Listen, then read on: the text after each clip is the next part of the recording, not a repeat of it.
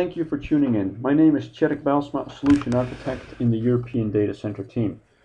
And today we'll be covering um, how policies, pools, templates, and service profiles all work together inside UCS Manager to create a very, very powerful blade solution.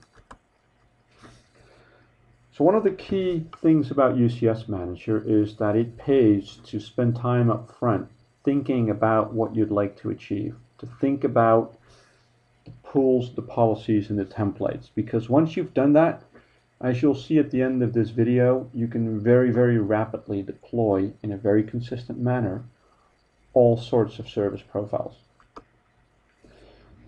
So the first thing we'll be looking at is connectivity. Um, connectivity from the blades. And we'll create templates for virtual NICs and virtual HBAs. Within UCS, there's always the concept of Fabric A and Fabric B, and we'll be creating VNICs dedicated for Fabric A and dedicated for Fabric B. So one of the first things you'll need is um, MAC addresses. So we'll create a pool of MAC addresses, again, a pool for Fabric A and a pool for Fabric B, so that the virtual NICs can actually pull out of that pool the MAC addresses they need. VLANs is the other thing we'll be creating. And in the VNIC templates, you can define which VLANs are associated with each VNIC. For the HBA side, we'll do the same thing, but now with worldwide port names and vSANs.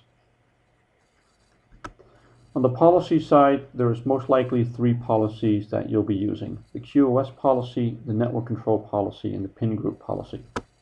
So QoS applies to, to all the um, all the templates, the network control policy is Ethernet specific, and the pin group policy again applies to all the um, all the interfaces. So once we've done that, we can start to uh, to actually work on our service profile template. Now the service profile template needs a few things, and one of the things it'll need is it needs to know where to get the actual blades from. So there will be a pool of server blades. There will be a worldwide node name pool to, for it to pull an individual worldwide node name, and the same for the UUID. On the policy side, there will be um, a total of about five policies that most likely you'll be using. Boot policy is the first one. Do I boot from local disk? Do I boot from SAN? If I boot from SAN, where do I actually boot from? Those are things set up in the boot policy. There's a power control policy that was added in version 1.4. The firmware policy is where we define which BIOS version and which adapter firmware version needs to be running on the blade for this service profile template. And that's relevant because a blade set up for Oracle or SAP or Exchange or ESX could require different firmware versions.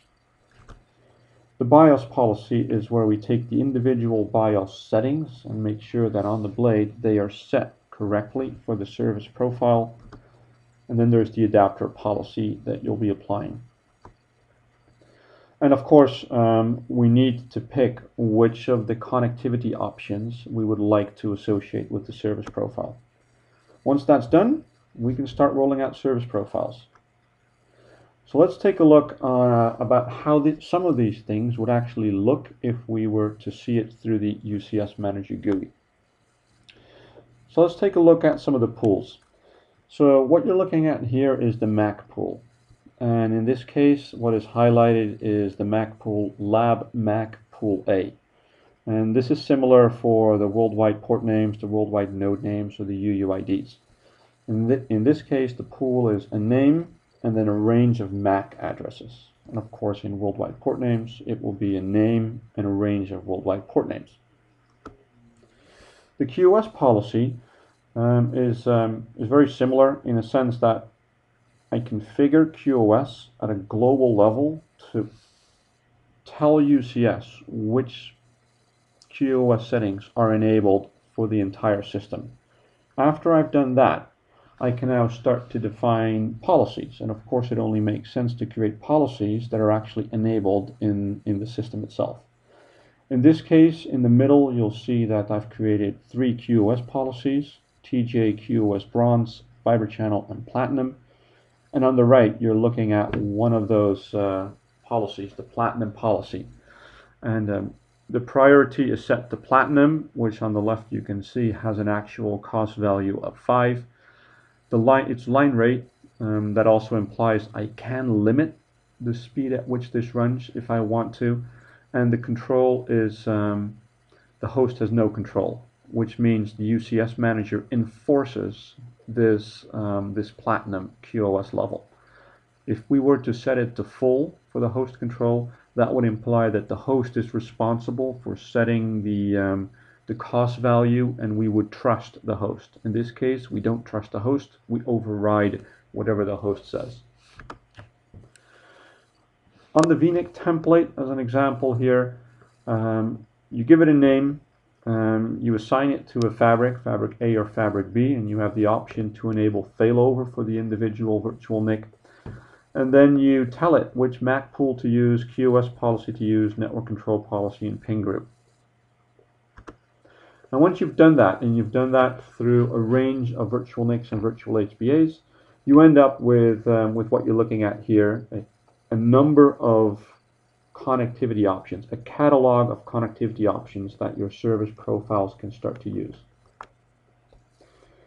So at the service profile level, let's start with looking at the BIOS. There are a lot of BIOS settings that you can actually set here. And there's a, a total of, uh, of nine different tabs that you can run through and set individual settings. So what you do if, um, if you want to change these um, from the defaults, you create a policy and um, you set whatever you want to set and you assign it to the service profile. And the service, uh, the UCS manager will actually ensure that these settings are applied to the blade this service profile will eventually run on. We won't go into the, the pools on the left because they're basically very similar to the MAC pool that we've already seen. The service profile template itself, um, on the top right, you can see that um, in my lab environment, I've created four different service profile templates already. Um, and in the middle of the screen, you'll see that we're at the storage tab, but there's a number of tabs you need to configure um, before actually ending up with a service profile template. On this storage tab, um, the worldwide node name is pool derived, which means we've pulled it out of one of the available worldwide node name pools. Um, the boot policy, well, the boot policy is, um, is set to SAN boot NetApp, uh, which is one of the created boot policies. On the policy tab, there is the, the BIOS policy, which was the um, all those nine pages of BIOS settings that we've uh, that I've just shown you. The firmware policy is the version of BIOS and the version of the adapter firmware that is required for this service profile to run, and the power control policy can also be set here. So when that's all done, um, we can start to deploy service profiles. So let's see how that goes in the GUI. So what I do is I go to UCS Manager onto the Servers tab and I go and find my service profile templates and I've highlighted the template called SANboot ESXi. You right click it and you select create service profiles from template. It asks you for a name and I've selected tj underscore lab underscore ESX and I would like to have 10 of these service profiles. And as soon as you do that, the system will go out and create 10 service profiles and it'll sequentially number them 1 through 10. It'll tell you that they're successfully created. And what's happening now is that these service profiles will be associating themselves to blades and the blades will start to boot. And if the policy tells the blade to upgrade or downgrade the BIOS or change the BIOS settings, it'll do that as well. Um, and eventually the blades will, will come up as, uh, as ESX hosts. But creating these 10 service profiles didn't cost more than 10 seconds. And they're all created in an identical way, no, no configuration errors. Everything is built to, uh, to use policies, pools, and templates very, very efficiently. So that was a very, very quick run through of how policies, pools, templates, and service profiles all work together within UCS Manager. I hope you found this uh, useful. If you have any feedback, um, please share. It's um, You can find my contact details on the right. Thank you very much for watching.